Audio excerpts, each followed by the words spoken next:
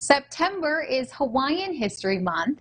and tonight's Aloha Authentic, Kamakapili tells us about Hawaii's last king to carry the name Kamehameha.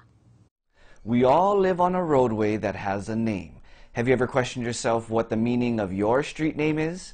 Well, our weekly Aloha Authentic segment highlights various street and place names to help us dive into the history of Hawaii. For the rest of the month, we're going to dive into streets found on Molokai.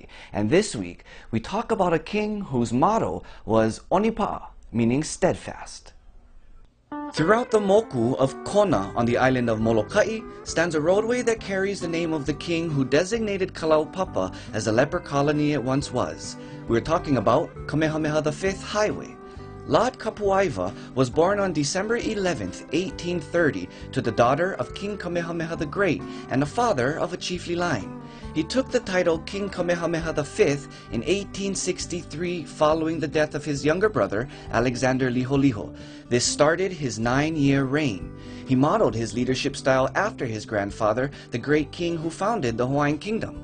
With the belief that a sovereign's power should be absolute, King Kamehameha V created a new constitution by his own prerogative. This renounced the legislative's handle on power and restored it back to the crown. Many of his establishments still remain today, including the Royal Order of Kamehameha Ekahi, the Royal Hawaiian Band, and Kamehameha Day being celebrated in June.